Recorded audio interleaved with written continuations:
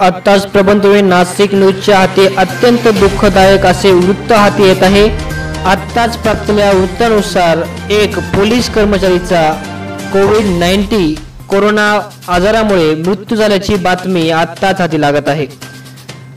या दरम्यान कोरोनाच्या या लॉकडाऊनच्या दरम्यान हा कर्मचारी मालेगाव येथे कार्यरत होता. त्यानंतर त्याला कोरोनाची लागण झाली होती.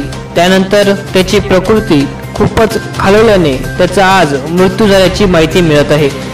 या संदर्भात अधिक माहिती जाणून घेण्यासाठी मालेगाव विभागीय संपादक हरीश मारूक कॉललाईनवरून जोडले जात आहेत. बोला हरीशजी काय माहिती सांगू शकता या संदर्भात? हा नमस्कार. आज अत्यंत दुःखदायक अशी बातमी आपल्यासमोर येत आहे.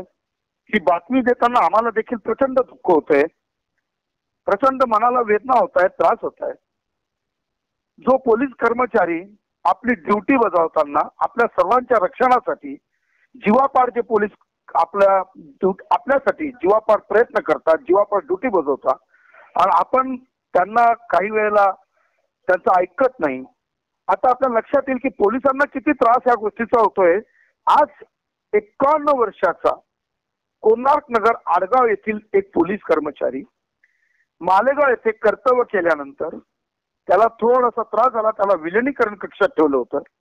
दिनांक दोन पाच दोन हजार वीस रोजी दुपारी सव्वा वाजता त्यांना थोडेसे सौम्य लक्षणं असल्यामुळे संशयित म्हणून त्यांना जिल्हा रुग्णालय नाशिक येथे कोविड कक्षात भरती करण्यात आले. त्यानंतर डॉक्टरांनी त्वरितच त्यांच्यावर उपचार सुरू केले. त्यांची तब्येत थोडी बरी होत होती परंतु आज दिनांक नऊ पाचला पहाटेपासून अचानक त्यांना श्वसनाचा त्रास व्हायला लागला. त्यानंतर डॉक्टरांनी त्वरित त्यांच्याकडे लक्ष देऊन त्यांना व्हेंटिलेटरवर घेण्यात आले. डॉक्टरांनी शर्तीचे प्रयत्न केले परंतु त्या व्यक्तीची प्राणज्योत मालवली आणि तो व्यक्ती आज आपल्यात नाही. आज ही बातमी देताना आम्हाला अतिशय प्रचंड मनाला वेदना होत आहेत दुःख होत आहेत. मला एवढंच म्हणायचं याच्यातनं की जो शर्तीचा जो प्रयत्न जो पोलीस आपल्यासाठी करत आहेत ते बिचारे स्वतःच्या जीवावर उदार होऊन आपल्या रक्षणासाठी काम करतायत कुठेतरी आपलंही कर्तव्य होतं की त्यांचंही रक्षण आपण कसं केलं पाहिजे त्यांच्या सूचनाचं पालन केलं पाहिजे.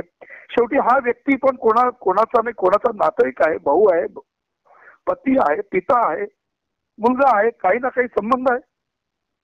अतिशय वाईट आणि दुःखद बातमी आम्ही तुम्हाला देतोय.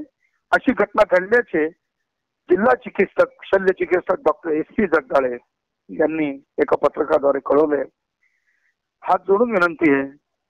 की सर्वांनी सर्वांकडे लक्ष देऊन कायद्याचं पालन करा सूचनांचं पालन करा. धन्यवाद. मी हरीश मारू प्रबंधभूमी नाशिक न्यूज.